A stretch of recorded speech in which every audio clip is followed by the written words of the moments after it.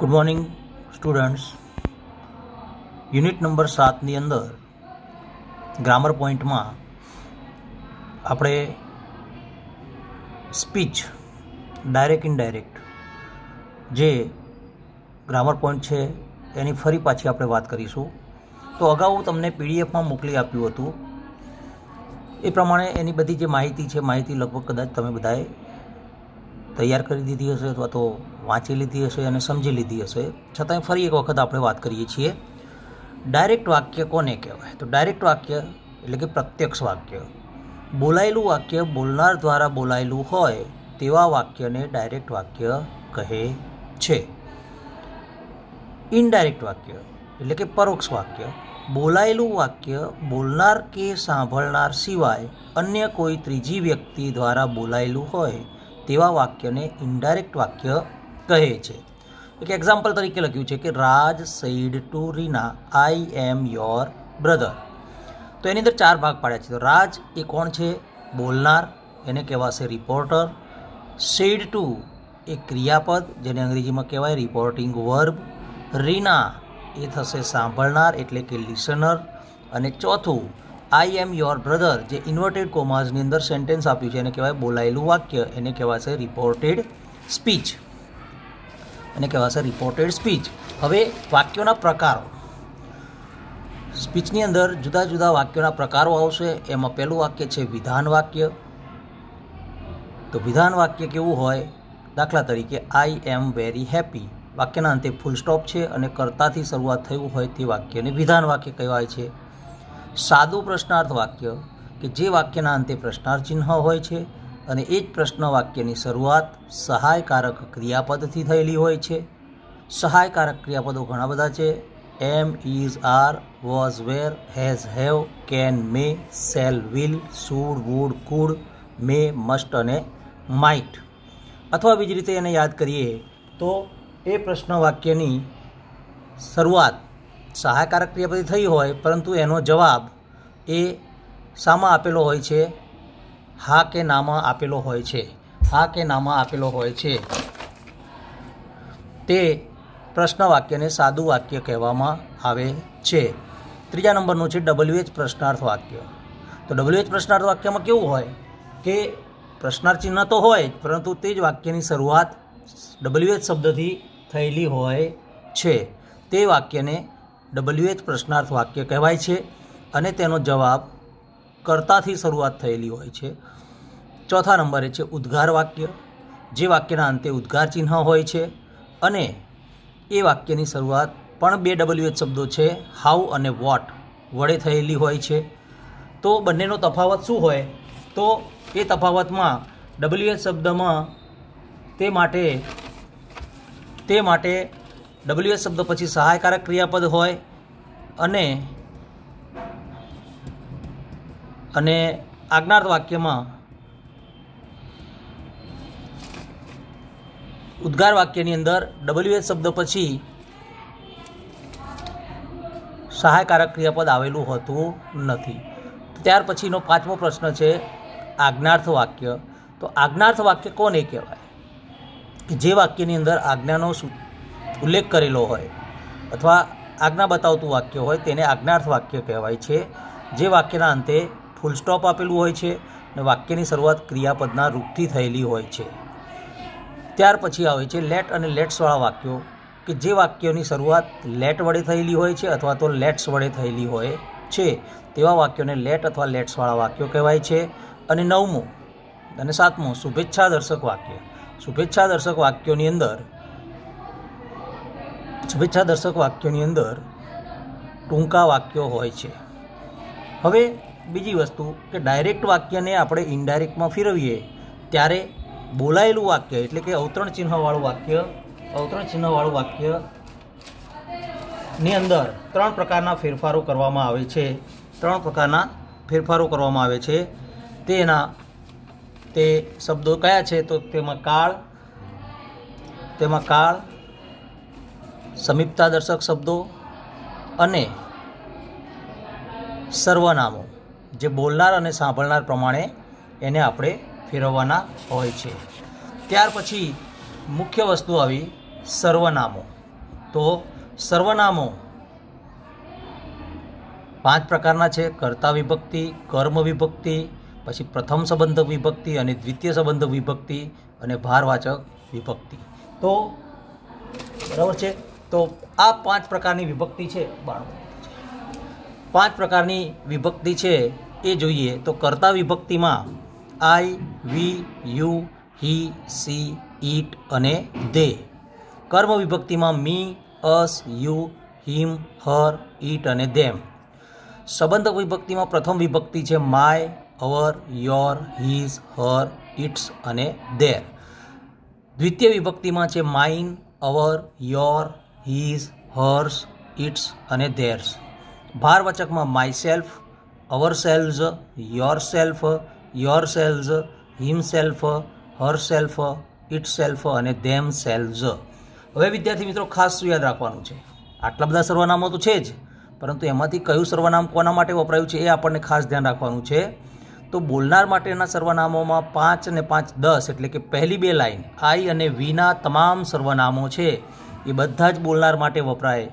તો કયા કયા છે? I me my mine myself we us our ours ourselves સાંભળનાર માટે you you your yours yourself અને યોર સેલ્ઝ તો આ સમાન સર્વનામો જે આપેલા છે, આ બધા જે છે તે બોલનાર માટે વપરાશે સાંભળનાર માટે વપરાશે. પણ વાસ ખાસ યાદ રાખવા જેવી છે તે કોઈ પણ સર્વનામ આપ્યું હોય તો તરત આપણને ખ્યાલ આવવો જોઈએ. દાખલા તરીકે હિમ આપ્યું હોય તો એ કર્મ વિભક્તિ છે. ધેર આપ્યું હોય તો તે ધેની સંબંધક વિભક્તિ અને તેમાં એ પાછી પ્રથમ વિભક્તિ. યોર સેલ્ફ આપ્યું હોય તો યુનું ભારવાચક સર્વનામ છે. માઇન આપ્યું હોય તો આઈનું દ્વિતીય સંબંધ વિભક્તિનું રૂપ છે. એમ આપણને ખ્યાલ હોવો જોઈએ. તો આપણે ફેરફારો જે કરવાના છે ફેરફારોમાં સારી રીતે આપણે ફેરફારો કરી શકીએ. બીજો જે ટેબલ છે તે છે સમીપતા દર્શક શબ્દો. તો સમીપતા દર્શક શબ્દોમાં ડાયરેક્ટ વાક્યની અંદર આ લિસ્ટ આપ્યું છે એ પ્રમાણેના શબ્દો હશે. એને આપણે ઇન્ડાયરેક્ટમાં ફેરવતી વખતે આ શબ્દો સામે જે લખ્યા છે, એમાં આપણે ફેરફાર કરવાના થશે. તો ધીસ આપ્યું હશે તો શું કરવું પડશે? ધેટ ધીઝ આપ્યું હોય તો એનું કરવું પડશે. ધોઝ હિયર આપ્યું હોય એનું કરવું પડશે. ધેર નાવ આપ્યું હશે એનું કરવું પડશે. ધેન ટુડે આપ્યું હશે, એનું કરવું પડશે ધેટ ડે એગો આપ્યું હશે, એનું કરવું પડશે બિફોર યસ્ટરડે આપ્યું હશે, એનું કરવું પડશે ધ પ્રીવિયસ ડે અથવા તો ધ ડે બિફોર ટુમોરો આપ્યું હશે તો ધ નેક્સ્ટ ડે અથવા તો ધ ફોલોઈંગ ડે તો ખાસ યાદ રાખવાનું છે કે ફેરફાર સમીપતા દર્શક શબ્દોમાં પણ કરવાના થશે, સર્વનામોમાં પણ કરવાના થશે. તો તમને ખબર પડવી જોઈએ બંને વચ્ચેનો તફાવત કે આ સર્વનામ છે અને આ સમીપતા દર્શક શબ્દો છે. ત્યાર પછી, વિદ્યાર્થી મિત્રો, મુખ્ય વસ્તુ આવી તે આવી કાળ. બોલાયેલા વાક્યમાં એક જ જગ્યાએ કાળનો ઉલ્લેખ કરેલો હશે અને એ જગ્યા હશે કરતા પછી આપેલું ક્રિયાપદ. તો હવે, ડાયરેક્ટ વાક્યની અંદર જે તે કાળ આપેલા હોય, એ કાળને આપણે ઇનડાયરેક્ટની અંદર આ કાળમાં ફેરવવાના થશે. ધારો કે સાદો વર્તમાન કાળ આપ્યો હોય તો સાદો વર્તમાન કાળ કોને કહેવાય? કે જે ક્રિયાપદને એસ અથવા ઈએસ લાગ્યું હોય અથવા મૂળરૂપ હોય. એ સાદા વર્તમાન કાળને સાદા ભૂતકાળમાં ફેરવવાનું થશે. એટલે કે ભૂતકાળનું રૂપ કરવું પડે. દાખલા તરીકે ગો આપ્યું હોય તો વેન્ટ કરવું પડે. ઇટ્સ આપ્યું હોય તો એટ કરવું પડે. ચાલુ વર્તમાન કાળ આપેલો હોય એટલે કે એમ ઇઝ આરની સાથે એનજી વાળું રૂપ આપ્યું હોય તો એને ચાલુ ભૂતકાળમાં ફેરવવું પડે. તો ચાલુ ભૂતકાળમાં ફેરવતી વખતે એમ ઇઝ અને આર છે. એનું વોઝ અને વેર કરી અને પછી એને આઈએનજી લગાડવું પડતું હોય છે. ત્રીજા નંબરમાં છે પૂર્ણ વર્તમાન કાળ. તો પૂર્ણ વર્તમાનકાળમાં ક્રિયાપદ હેઝ અને હેવની સાથે ભૂતકુદંત હોય છે. તો આપણે એને ઇન્ડાયરેક્ટમાં ફેરવીએ ત્યારે પૂર્ણ ભૂતકાળમાં ફેરવવું પડે. એટલે કે હેઝ અને હેવ છે, એને આપણે હેડમાં ફેરવવું પડે છે. ત્યાર પછી છે સાદો ભૂતકાળ. તો સાદો ભૂતકાળ આપ્યો હોય તો એને આપણે ઇન્ડાયરેક્ટમાં ફેરવી કે પૂર્ણ ભૂતકાળમાં ફેરવવું પડે છે. અને પૂર્ણ ભૂતકાળમાં ફેરવીએ છીએ ત્યારે હેડ વત્તા ભૂતકૃદંતમાં ફેરવવાનું થાય છે. પૂર્ણ ભૂતકાળ જ આપ્યો હોય તો એમાં કોઈ ફેરફાર થતો નથી. એઝ ઇટ ઇઝ રહે છે, હેડ ભૂતકૃદંત, તો અહીંયા પણ હેડની સાથે ભૂતકૃદંત રહે છે. હવે વિદ્યાર્થી મિત્રો, આજે છે છઠ્ઠા નંબરનો કાળનો ટોપિક. એમાં ખાસ ધ્યાન રાખવાનું છે, સેલ અને will, can, may, should would could must અને માઇટ. આ બધા સહાયકારક ક્રિયાપદો છે. એની પાછળ આપેલું છે મૂળ ક્રિયાપદ, મૂળ રૂપ. હવે એને જ્યારે ઇન્ડાયરેક્ટમાં ફેરવીએ છીએ, ત્યારે સેલ અને વિલનું માત્ર ને માત્ર વુડમાં રૂપાંતર થાય છે. સૂડમાં થતું નથી. ઘણા વિદ્યાર્થીઓ અહીંયા સેલનું સૂડ કરી દેતા હોય છે. તો અહીંયા સૂડ થતું નથી. તો સેલ વિલનું શું થાય છે? વુડ કેનનું કુડ મેનું માઇટ. આ ચાર સહાયકારક ક્રિયાપદોમાં ચેન્જીસ છે, બાકીના એઝ ઇટ ઇઝ આવે છે. પાછળનું જે મૂળ ક્રિયાપદ છે, તે મૂળ ક્રિયાપદને મૂળ ક્રિયાપદમાં જ રાખવું પડે છે. એમાં કોઈ ફેરફાર થતો નથી. ત્યાર પછી ટુ બીના રૂપો ખાલી એમ ઇઝ અને આર આપ્યા હોય, તો એને વોઝ અને વેરમાં ફેરવવા પડે. વોઝ અને વેર ભૂતકાળના ટુ બીના રૂપો હોય, તો એને આપણે હેડ બીનમાં ફેરવવા પડે. હેઝ અને હેવ આપ્યું હોય તો એને આપણે ભૂતકાળનું રૂપ કરીને હેડ કરવું પડે. ડુ ડઝ આપેલું હોય તો એનું આપણે ડીડ કરવું પડતું હોય છે. તો વિદ્યાર્થી મિત્રો, અહીંયા ત્રણ જે ટેબલ આપેલા છે, એ ટેબલની પીડીએફ પણ તમને આપી દીધી છે. તમે તૈયાર પણ કર્યા હશે ને જો તૈયાર કર્યા હશે તો તમે એના જવાબો સારી રીતે ઇનડાયરેક્ટની અંદર ફેરવી શકશો. તો ફરીને ફરી વાત કરીએ છીએ કે ત્રણ ટેબલ તમને ખાસ આવડતા હોવા જોઈએ. હજી ઘણા વિદ્યાર્થીઓને સર્વનામોમાં કઈ વિભક્તિનું સર્વનામ છે? કોના માટે વપરાયું છે?